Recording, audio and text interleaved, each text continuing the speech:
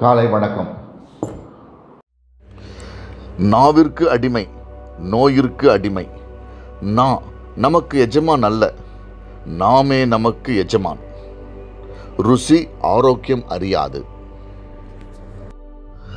இந்த ருசி ருசின்னு ருசியான சாப்பாடுக்கு பின்னாடி போகிறவங்க பார்த்தீங்கன்னா உடலில் நிறைய பிரச்சனை இருக்கும்.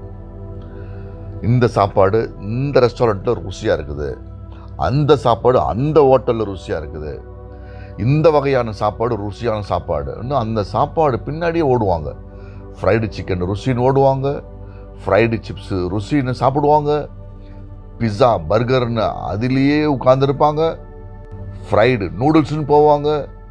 ஃப்ரைடு ரைஸ்ன்னு போவாங்க. ஆம்லெட்டுன்னுவாங்க சிக்கன் சிக்ஸ்டி ஃபைவ்னுவாங்க பீஃப் சிக்ஸ்டி ஃபைவ்னு சொல்லுவாங்க. இப்போ இந்த மாதிரி இந்த ஃப்ரைடு ஐட்டம்ஸ் பின்னாடி போயிட்டு நிறைய சாப்பிட்றவங்க பார்த்தீங்கன்னா அவங்களுக்கு உடம்புல வந்து சில ஆண்டுகள் கழித்து எக்கச்சக்கமான பிரச்சனைகள் உருவாகும்ன்றத சில பேருக்கு தெரியும். சில பேருக்கு தெரியாமல் சாப்பிட்றாங்க. இதை கூடுமான வரைக்கும் கண்ட்ரோல் பண்ணிக்கோங்க. ருசியான சாப்பாடு சாப்பிட வேண்டாம்னு சொல்லலை. ஆனால் வாரம் வாரம் அதை பழக்கமாக்காதீங்க சில பேர் தினமும் சாப்பிட்றவங்க இருக்கிறாங்க. நான் சொல்கிறது வாரமே தப்பு. மாசத்துல ஒரே ஒரு நாள். அந்த மாதிரி ஏதாவது ஒரு சாப்பாடு. அந்த மாதிரி சாப்பிட்டீங்கன்னா ஓகே. பட் கூடுதலாக நீங்கள் உடல் உழைப்பு இருக்கணும். அதாவது உடற்பயிற்சி. சைக்கிளில் போங்க இல்லை வாக்கிங் போங்க ஸ்விம்மிங் போங்க இல்லை கடலக்கடை சுற்றுங்க இல்லை வெயிட் ட்ரைனிங் செய்யுங்க ஏதாவது ஒன்று செய்யுங்க. செஞ்சீங்கன்னா உங்களுக்கு இந்த பாதிப்பு ரொம்ப ரொம்ப ரொம்ப கம்மியாக இருக்கும். அதே மாதிரி இந்த ருசியான சாப்பாடுன்னு நான் சொன்னேன் இல்லைங்களா?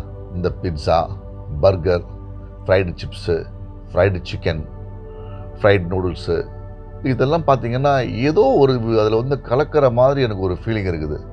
அதை சாப்பிட்டாக்கா அடிக்ஷன் ஆகுது.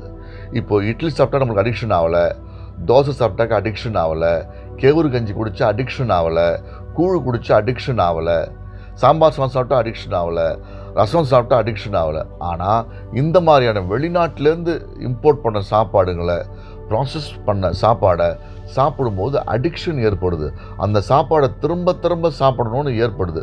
உதாரணத்துக்கு ஃபிசி ட்ரிங்க்ஸு கொக்கோ கோலா இந்த இது பார்த்தீங்கன்னா மாதிரி பெப்சி செவன் அப்பு ஸ்ப்ரைட்டு இதெல்லாம் பார்த்திங்கன்னா ஒரு அடிக்ஷனை வந்து ரொம்ப உண்டு பண்ணுது. இது நானே வந்து இதை எக்ஸ்பெரிமெண்ட் பண்ணியிருக்கிறேன்.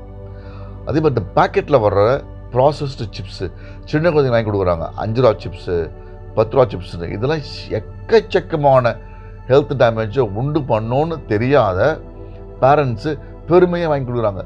என் குழந்த மரவள்ளி கிழங்கு சாப்பிடாது. என் குழந்த பனங்கிழங்குகிட்டேயே போவாது. என் குழந்த சிப்ஸ் சாப்பிடும். அந்த மாதிரி ரொம்ப பெருமையாலாம் வந்து பேசுகிறாங்க இது மிகவும் தவறு அது.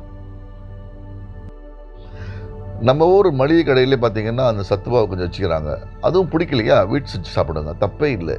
நம்ம பாரம்பரிய சாப்பாடான கேழ்வரகு கம்பு அரிசி பார்த்தீங்கன்னா பல வகையான அரிசி பாரம்பரிய அரிசி இருக்குது. அதில் கஞ்சி வச்சு குடிக்கலாம்.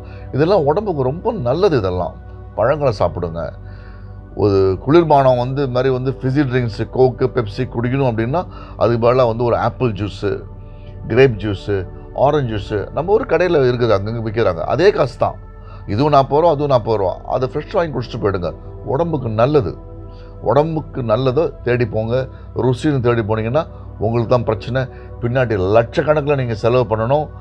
அதுக்கே ஆஸ்பத்திரி டாக்டர் அங்கே இங்கே வந்து ஊர் ஊராக சுற்றணும் அதுக்கெல்லாம் நீங்கள் தயாராக இருந்தீங்கன்னா ருசியான சாப்பாடு பண்ணிட்டு நீங்கள் தாராளமாக போகலாம். ஆனால் போகாதீங்க. அதுக்காக தான் பதிவு போடுறேன். உங்களுடைய ஆரோக்கியம் உங்கள் கையில். இந்த நாள் நல்ல நாளாக அமைய எனது மனமார்ந்த வாழ்த்துக்கள் ஸ்ரீனிவாசன்.